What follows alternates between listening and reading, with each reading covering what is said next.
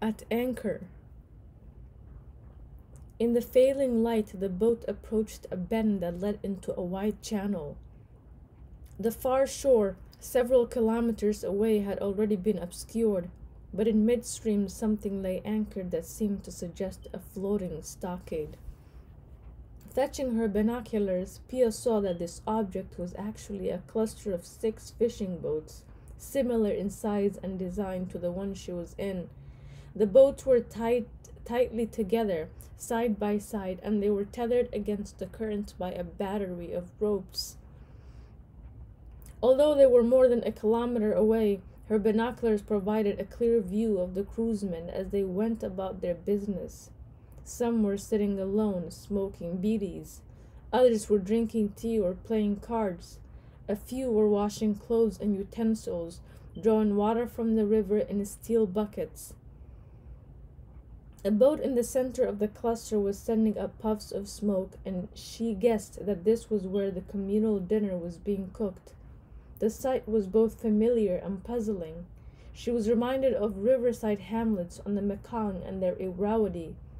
There, too, at the approach of nightfall, time had seemed to both accelerate and stand still, with lazy spirals of smoke rising into the twilight while ba- bathers came hurrying down the banks to wash off the day's dust. But the difference here was that this village had taken leave of the shore and tethered itself in midstream. Why? Catching sight of the boats, Tutul gave a shout and launched into an animated conversation with his father. She could tell that they had recognized the boats in the little flotilla. Perhaps they belonged to friends or relatives? She had spent enough time on rivers to know that the people who lived on their shores were rarely strangers to each other.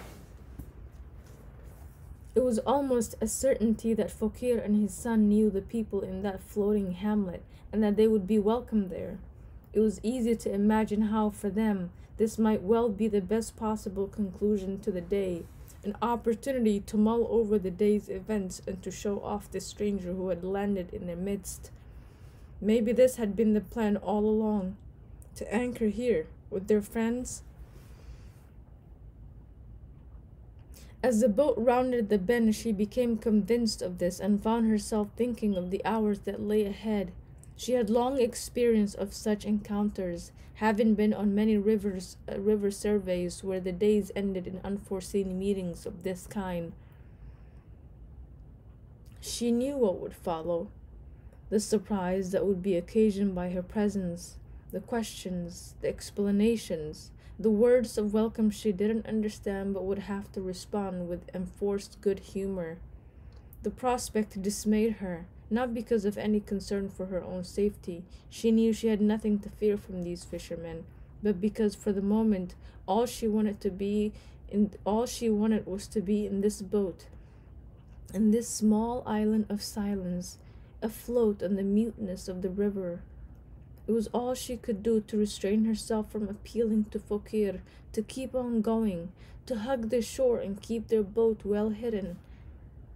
Of course, none of this could have been said, not even if she had had the words, and it was precisely because nothing was said that she was taken by surprise when she saw the boat's bow turning in the direction she had hoped for. Fokir was steering them away from the floating hamlet, slipping by along the shadows of the shore. She did not betray her relief by any outward alteration of her stance, and nor did her practiced hands fail to keep her binoculars fixed to her eyes, but inside it was as though there were a child leaping to celebrate an unexpected treat. Shortly after the last flicker of daylight had faded, Fokir pulled the boat over and dropped anchor in a, in a channel that ebb tide had turned into a sheltered creek. It was clear that they could not have gone much further that night, and yet there was something about his manner that told Piya that he was disappointed, that he had decided on another spot in which to anchor, and was annoyed with himself for not having reached it. But now that they were at anchor, with the surprise of the day behind them, a sense of un- unhurried lassitude descending on the, descended on the boat. Fokir put a match to an oil blackened lamp and lit a beady from the flame. After he had smoked it down to a stub, he went aft and showed Piya by indication and gesture how the squared platform at the stern end of the boat could be screened off for use as a lavatory and bathroom. By way of example, he drew a bucket of water and proceeded to bathe Tutul, using the brackish water of the river to soap him and dipping sparsely into a fresh water canister to wash off the suds. With the setting of the sun, the night had turned chilly and the boy's teeth chattered as he stood dripping on deck. Producing a checkered cloth, Fokir rubbed him down before bundling him into his clothes. This towel was made of reddish cotton and was one of several similar pieces Piya had seen around the boat. They had stirred a faint sense of recognition, but she could not recall where from. Once Tutul was done with dressing, it was his turn to bathe his father. After Fokir had stripped down to his breechcloth, Tutul upended streams of cold water over his head, to the accompaniment of much laughter and many loud yells. Piya could see the bones of Fokir's chest pushing against his skin like the ribs of a tin can that had been stripped of its label. The water made patterns around him, sluicing off the contours of his body as though it were tumbling down the tiers of a fountain.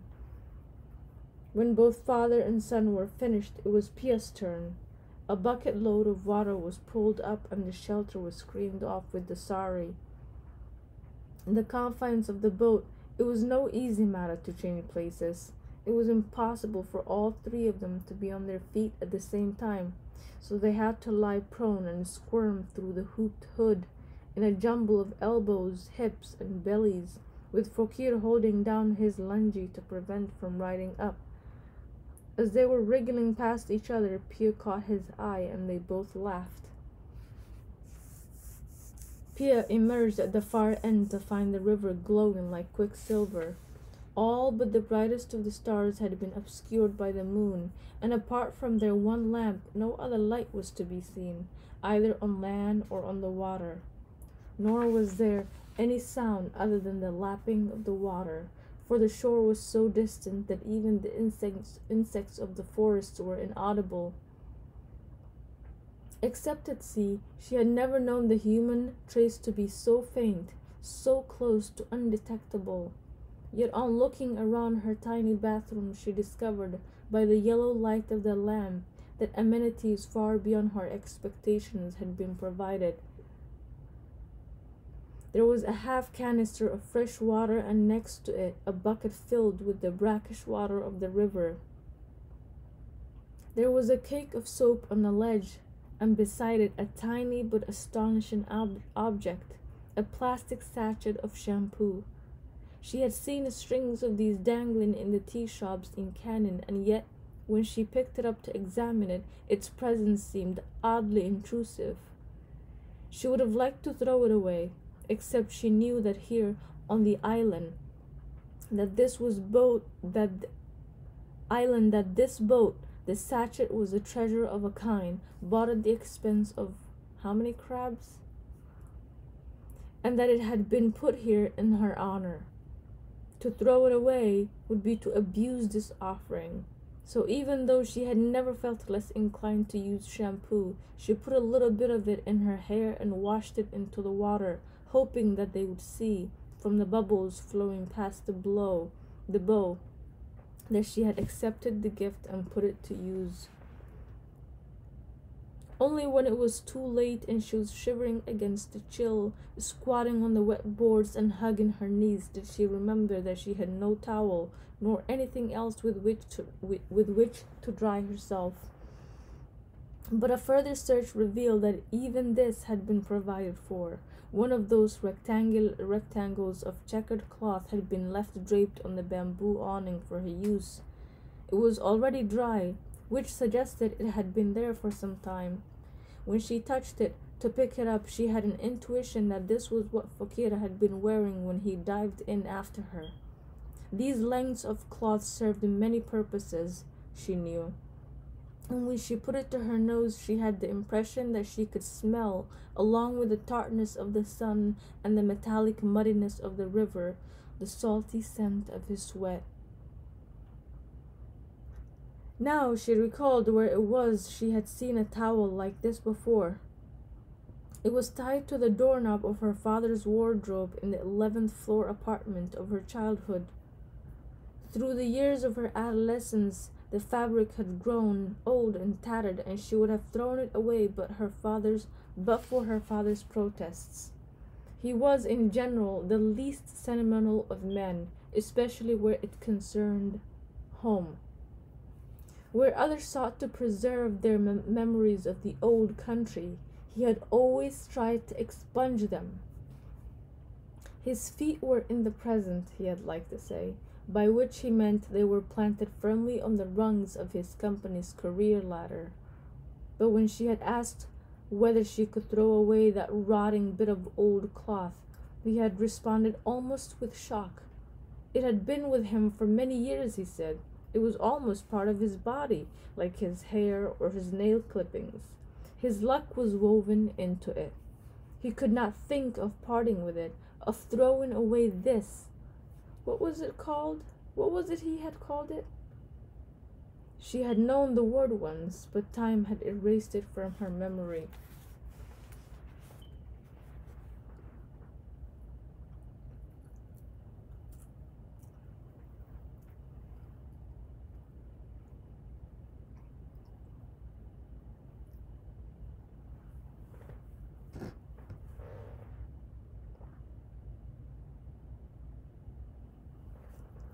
Kusum.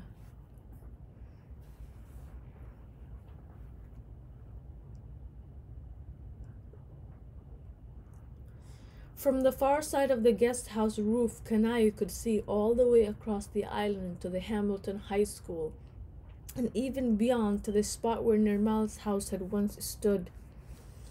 It was gone now, but the image of it that flickered in his memory was no less real to him than the newly constructed student hostel that had taken its place.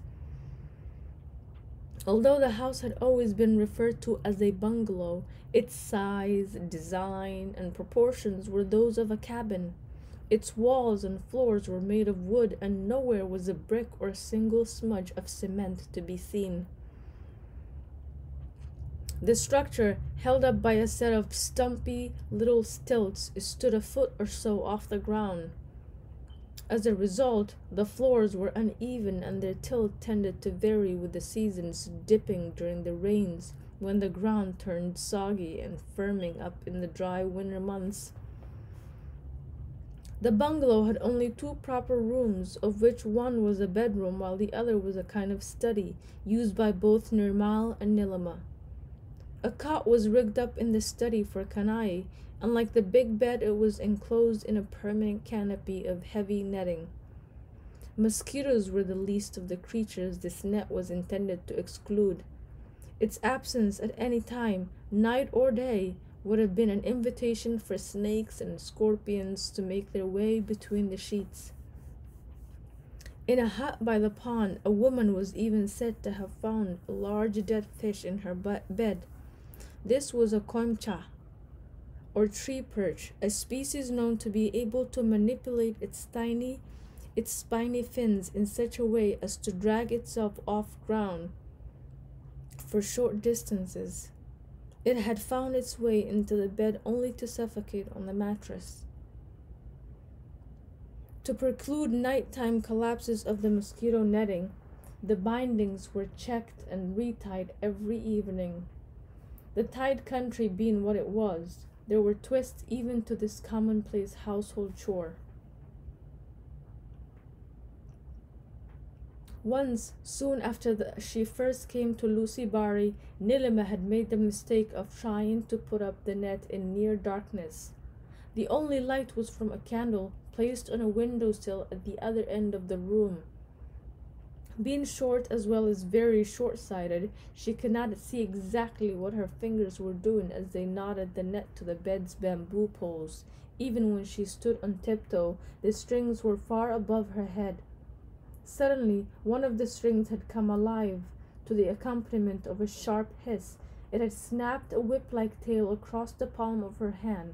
She had snatched her arm back just in time to see a long, thin shaped dropping from the pole.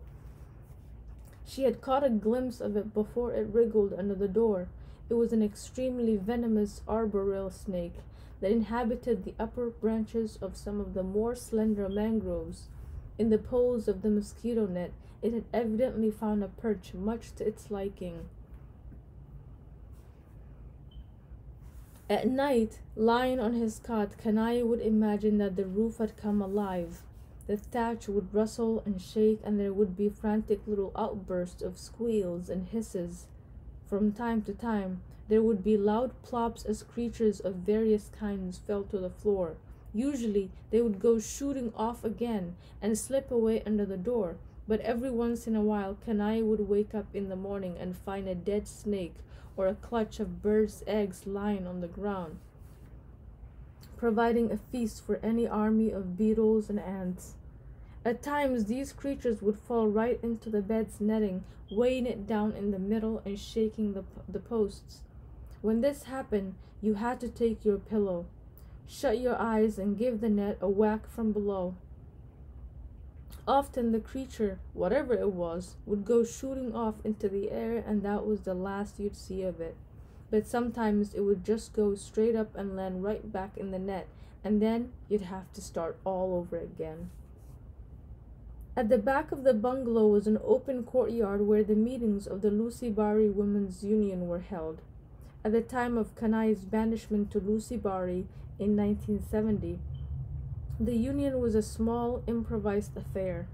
Several times a week, the union's members would gather in the courtyard to work on income generating projects knitting, sewing, dyeing yarn, and so on. But the members also used these occasions to talk and give vent to their anger and grief. These outbursts were str- strangely disquieting, and in the beginning, Kanai went to great lengths to stay away from the bungalow when the union was in session there.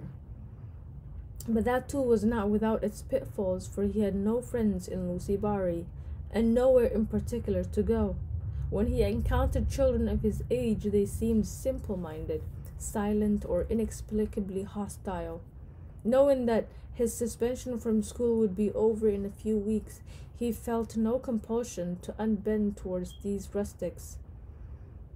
After twice being attacked with stones thrown by unseen hands, Kanai decided that he might be better off inside the bungalow than outside.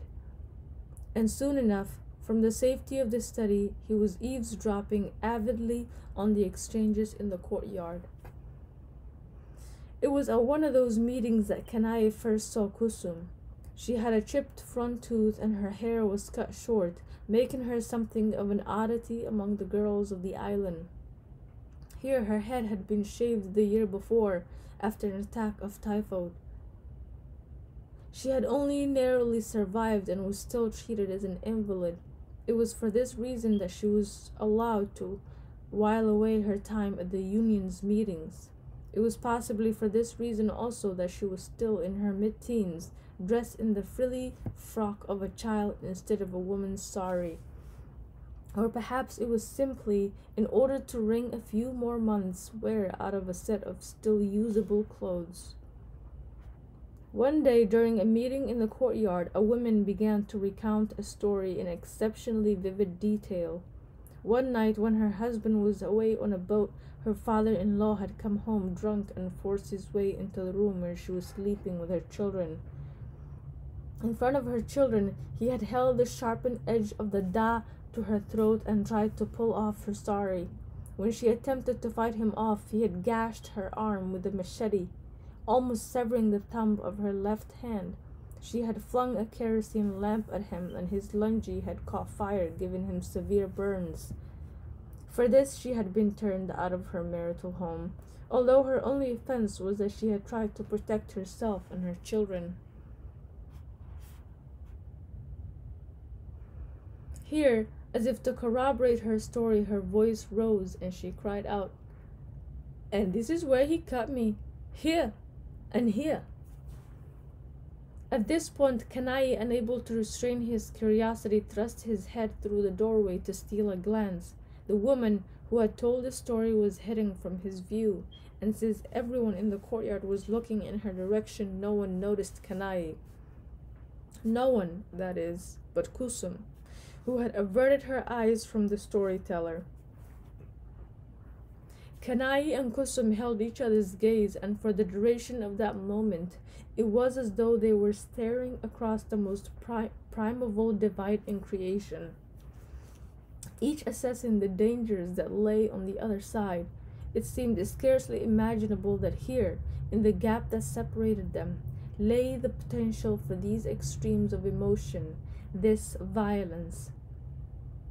But the mystery of it was that the result of this assessment was nothing so simple as fear or revulsion.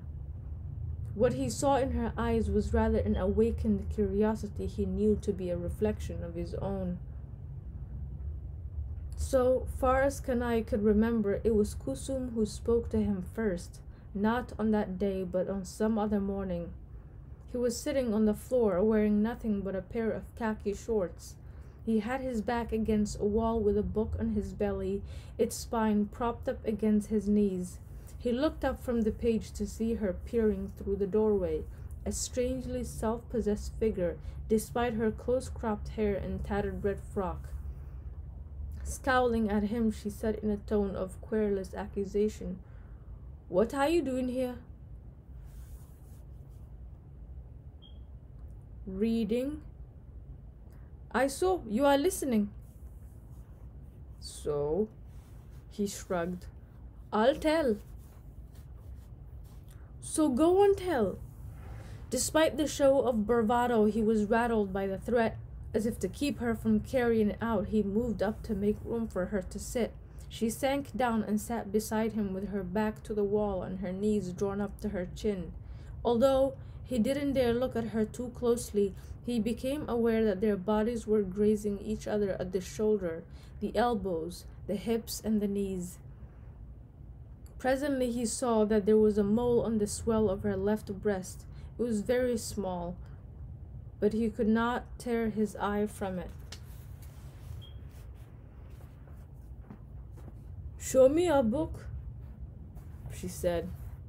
Kanai was reading an English mystery, mystery story, and he dismissed her quest with a shrug.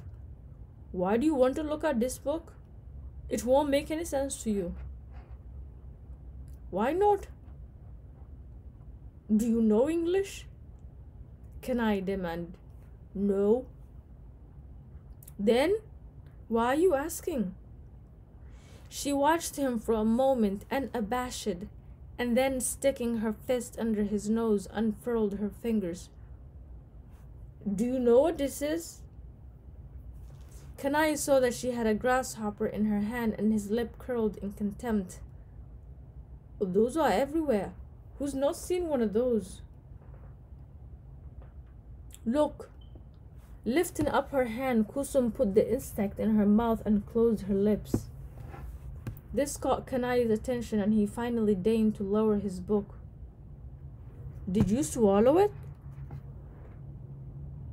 Suddenly her lips sprang apart and the grasshopper jumped straight into Kanai's face. He let out a shout and fell over backwards while she watched, laughing. It's just an insect, she said. Don't be afraid.